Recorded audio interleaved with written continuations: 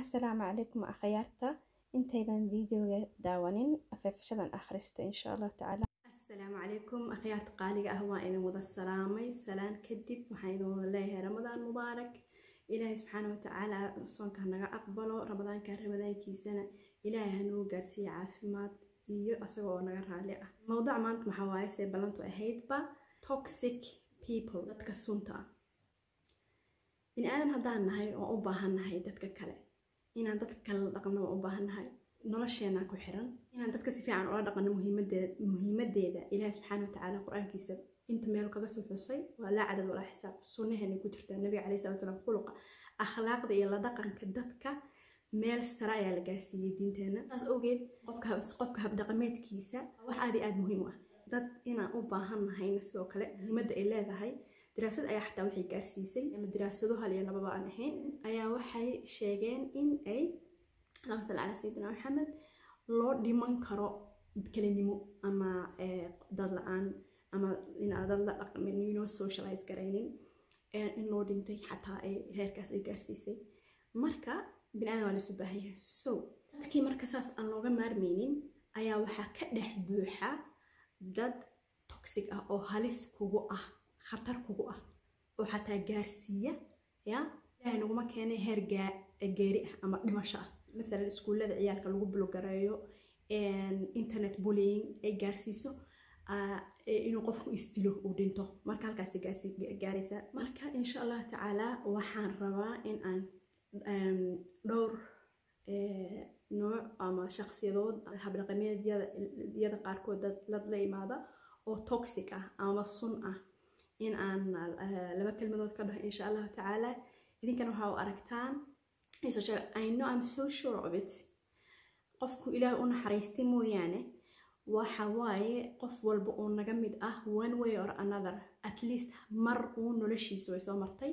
Qof toxic ah inuu la dhiilgareeyey ama shaqada ha kula dhiilgareeyo ama suuqa ha ku arko oo ha kula dhaqmo ama dukaan wax ka soo gadan ha kula dhaqmo ama gurigiisa ha kula dhaqmo iyo halkiisii qaraabadiisii dadkiisa ha ka mid ahaato amaba asxaabtiisa ha ka mid ahaato.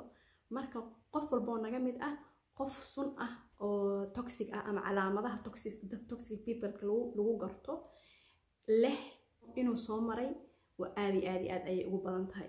Qofka toxiga waxaa laga yaabaa ama qofka sunta ah yaabaa inay iskugu tagtay astaantan inay iskugu wada tagtay oo laga helo dhowr kaba kulli laga wada helo ama mid laga helo ama qaar laga helo marka maanta waxaan soo qaadanaynaa astaamahaas mid ka mid ah taasoo ah xanta.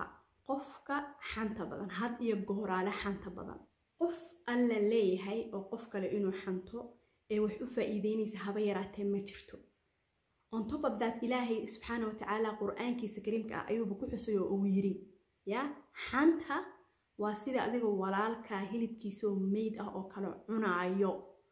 Marka adigana maadaama aysan faa'iidana kuu keenaynin first of all waxna aada ka ku rahdaa aada ka faa'iideynin aadan hadduu ilaahay waxna aada waxba haddaada ka faa'iideynin on top of thatna dambi uu kuugu aad ka kororsanaysid there is no reason uu qofka qofka kale u xanto. Qofka xanta dhegaysanaya oo ka guraayana asaga laftarkiisa khaladka waxbuu kaga jiraa oo dhiiqadii uu kula jiraa oo asagaa asagaa la sii enable garaynayo inuu xantii la sii wado. Kan sheegaya xantan waxba uma tarayso kan uu u sheegayana uma tarayso waktigana way kaa waste garaynaysaa dembina wuu kuugu socdaa aan qof walba ayay soo gelaysaa.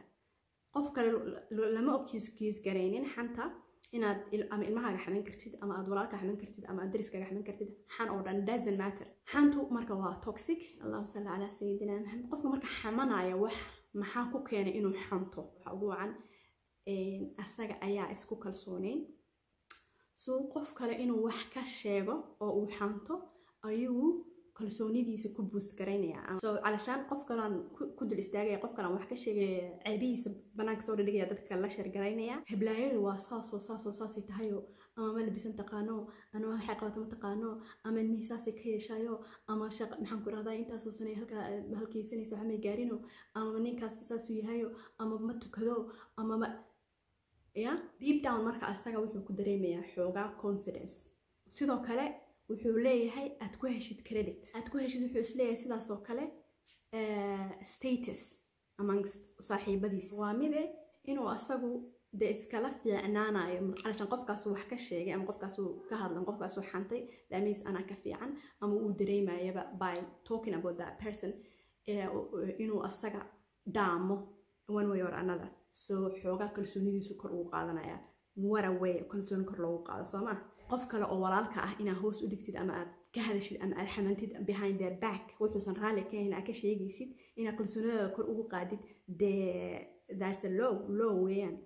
Qofka marka qofka waxaas kuula imaanayo shaksiyad caafimaadkaaga sunbay u yahay inaad xal dhegaysanaysa caafimaadkaaga u tahay waqtigaaga sunbay u tahay qof ahaantaada sunbay u tahay because qof maanta dhan war kuusoo sheegaya ku xumanaya haddaad dhegaysanaysa adigana dee dhiiqadii baa iskula jirtaa.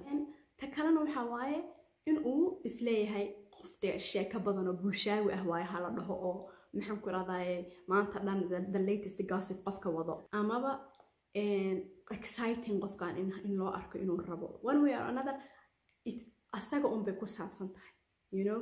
Qofka markuu qof xamanayo habeenkii xalay ahaayoo ka tegay ayay tahay inuu is leeyahay qofkaad xanta u sheegaysid u faa'iidee ma aha asagay ku saabsan tahay. Taasna waxa ay iskala mid yihiin dhammaan dadka sunta ah oo dhan ama sumaysan ama ha ogaadaan oo iyaga kas iyo olakaxa u samaynayaan inay dadka kale suntooda dee ku buufinayaan ya?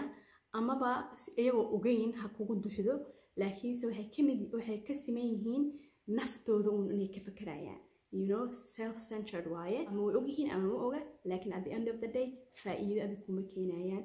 Insha allahu tacaala waa inuu marka marka dambe iyo video kale oo ku saabsan dadka sunta ah. Insha allahu tacaala waxaan leeyahay soonka ilaahay idinka aqbalo. Ilaahay hanaga wada aqbal bisha barsoon barakadeeda ilaahay hana wada siiyo.